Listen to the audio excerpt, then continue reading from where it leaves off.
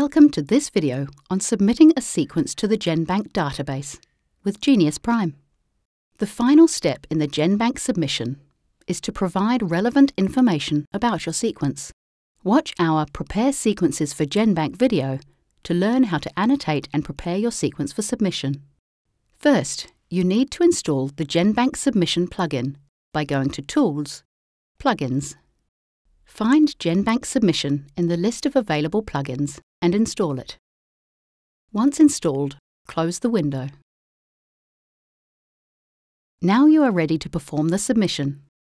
To begin, select the sequence, go to Tools, and click Submit to GenBank.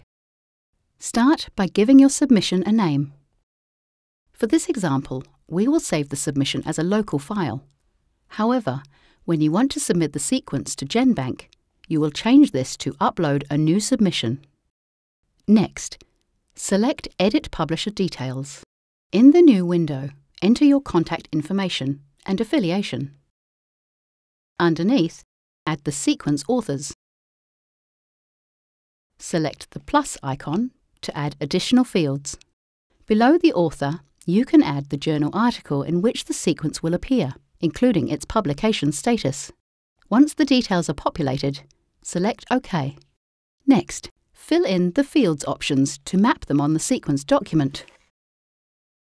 If a field does not apply to your sequence, you can leave the entry as none. If your file contains extra fields, tick this option and specify the additional fields. Select the Include Features Annotations options to add the gene, coding sequence, and exon annotations into the submission.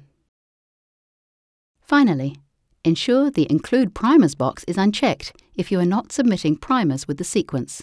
Then click OK to test the submission. Geneious creates a discrepancy report for every submission, regardless of whether it contains errors. However, if your submission includes errors that require attention, you will see a Validation Errors warnings window. You will need to resolve these before the submission proceeds. If you wish to see a preview of your submission in GenBank format, switch to the GenBank Preview tab. Finally, select Save TAR file to save the file to your computer. Remember, if you wish to proceed with the GenBank submission, ensure you choose Upload Submission rather than save a local file. To learn more, visit geneious.com.